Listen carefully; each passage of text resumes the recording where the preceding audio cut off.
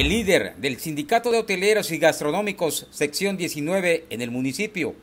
Manuel Jiménez Oste, comentó que ante la temporada que ya dio inicio y para no despedir personal, se implementarán estrategias como son vacaciones, devolución de días que se les deben y permisos sin goce de sueldo. La ocupación baja se ha manifestado desde el pasado fin de semana. Pues esta semana dimos eh, inicio pues ya con las ocupaciones este, pues bajas, ya eh, prácticamente el domingo pasado fue, la, fue el último día que tuvimos una ocupación de,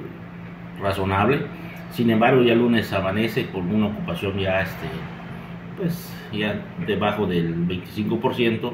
y esto pues ya nos ocupa a empezar a trabajar con las estrategias en los diferentes eh, eh, centros de hospedaje, diferentes hoteles y restaurantes, pues para ver,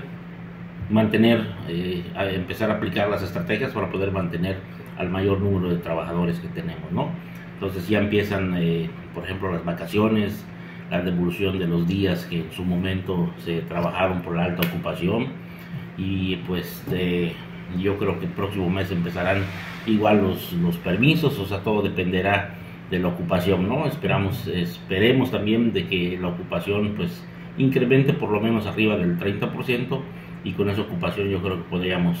mantener a todos en sus funciones. Para Canal 10, Jorge Q, Imágenes, Iván Maldonado.